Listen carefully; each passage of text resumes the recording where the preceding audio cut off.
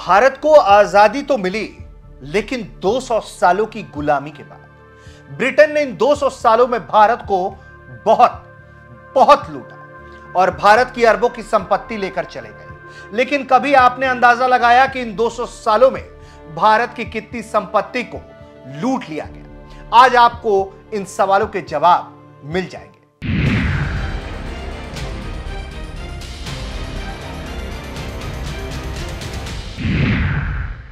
नमस्कार, जय हिंद, भारत तक देख रहे हैं आप और आपने द ब्रिटेन फाइल्स देखना शुरू कर दिया है।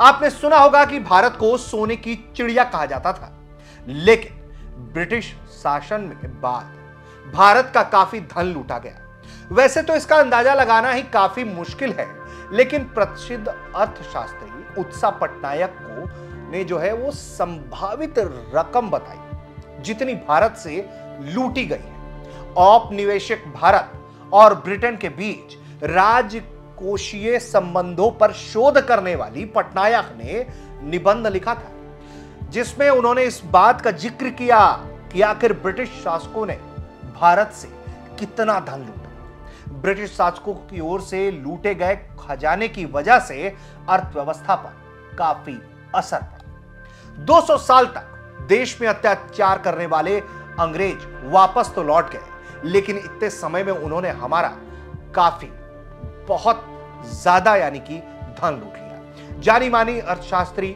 उत्साह पटनायक ने अपने निबंध में लिखा कि अंग्रेज़ों ने भारत का करीब 45 ट्रिलियन डॉलर लूट लिया। उत्साह पटनायक के इस निबंध को कोलंबिया यूनिवर्सिटी प्रेस ने प्रकाशित किया। उत्साह ने बताया कि साल 1900 से दो तक के बीच जो है भारत की प्रति व्यक्ति आय एक रुपए थी, जबकि साल 1945 से 46 में ये 201 रुपए पर पहुँच गई थी। उन्होंने बताया कि अंग्रेज़ों ने जो है वो साल 1765 से 1938 तक कुल 9.2 ट्रिलियन पाउंड का खजाना भारत से लूटा था, जो कि 45 ट्रिलियन डॉलर के बराबर है।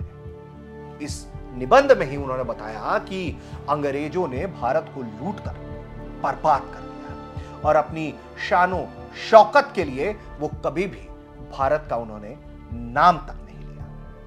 यानी कि भारत का खजाना लूटा, भारत का खजाना लूटकर अपने देश वापस ब्रिटेन चले गए और भारत से कभी इस बात की माफ़ी तक नहीं मांगी। भारत के साथ किए अत्याचारों पर कभी माफ़ी नहीं मांगी। हर किसी को मालूम है जलियावाला बाग में क्या हुआ था? और कैसे अंग्रेज़ों के द्वारा जो शासन करने के लिए वॉइस राय या तमाम जो अंग्रेज़ पुलिस अधिकारी नियुक्त किए जाते थे, वो किस तरह से भारतीयों पर जुल्म करते थे, औरतों पर अत्याचार करते थे, उनके साथ दुराचार करते थे, ये सब कुछ किया उन्होंने, हमारे क्रांतिकारियों की जान तक ले ली, और बदले में माफ़ी मांगने के वो लूट के लेकर चले गए। भारत का 45 ट्रिलियन धन। आपको यह वीडियो कैसा लगा, हमें ज़रूर कमेंट करके बताइए। द ब्रिटेन फाइल्स की इस कड़ी में हम लगातार ऐसे ही ब्रिटिश के दुराचारों की कहानी आपको लगातार 15 अगस्त तक बताते रहेंगे। देखते रहिए। भारत तक, नमस्कार, जय हिंद।